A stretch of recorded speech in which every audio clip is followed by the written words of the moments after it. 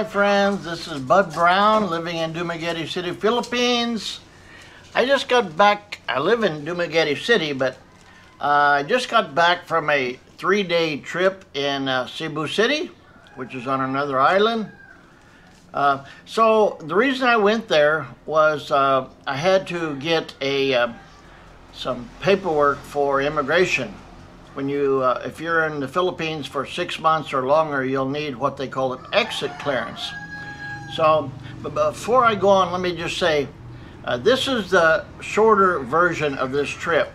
I have, uh, I took a lot of video and the things that I did and new experiences and riding on a, behind a motorcycle and, and, uh, and this and that. But after I was editing, I realized, man, this is going to be have to be several parts because I like to keep my videos about 10 minutes long. If they're longer than that, mm, I really don't know if I have the time to see something 30 minutes, 40 minutes, an hour. So this is a short version. And then after this, I'll put up the longer version if you're interested in that. But this one, I'm going to give you the facts. So I had to go up to the immigration office to get this uh, exit clearance. It's called ECC, Exit Clearance Certificate.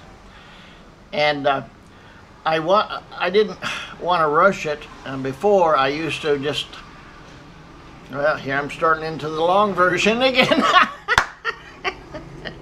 it's hard for me to abbreviate stories.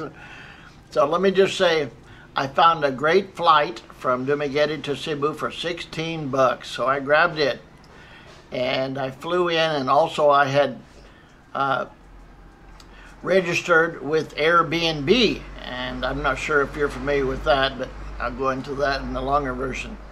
So I went to uh,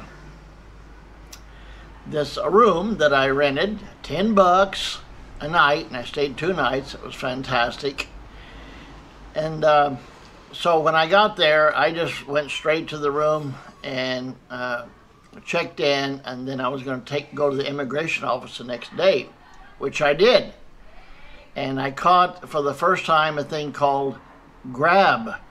Now, uh, Grab is a motorcycle uh, taxi. So uh, I hadn't done that before, but the the young lady who was at the house where I was staying, you know, told me about, uh, it's called uh, Angkas or Angkas, I'm not sure how they pronounce it, A-N-G-K-A-S, Angkas. So she showed me how to do it on the website. You know exactly where you where you are, and you know exactly how much it costs for them to take you where you want to go. So sure enough, he took me to uh, the uh, J Centre Mall, which was where the immigration office is inside there.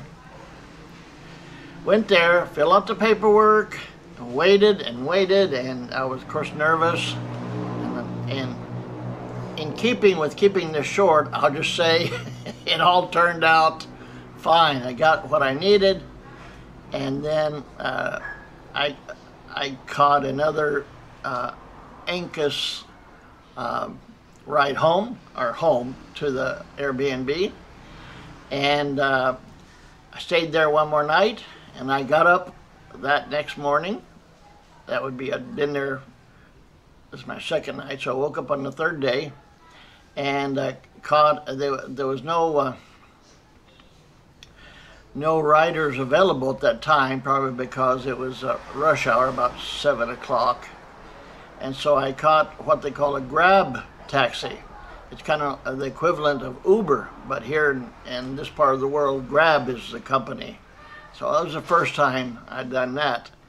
So a lot of firsts on this trip, which was kind of scary, but it was a very, very good experience. So I caught uh, the Grab to the bus terminal. I tried my best to try to find a, a cheap flight from uh, Cebu City to uh, Dumaguete, but they were like 50 bucks, which is a normal the going rate, no promos. So I got the bus, left exactly 9 o'clock, and rolled into Dumaguete at 4 o'clock. And I caught a tricycle from uh, Dumaguete uh, bus station here home.